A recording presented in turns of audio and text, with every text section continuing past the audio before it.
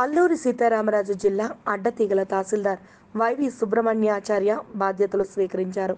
ఉన్నతాధికారుల ఆదేశాల మేరకు అడ్డతీగల తహసీల్దార్గా బాధ్యతలు చేపట్టడం జరిగింది. ఈయన ఈస్ట్ గోదావరి దేవరపల్లి మండలం నుంచి వచ్చారు. తహసీల్దార్ ఆఫీస్ స్టాఫ్ ఆయన్ను మర్యాదపూర్వకంగా కలిశారు.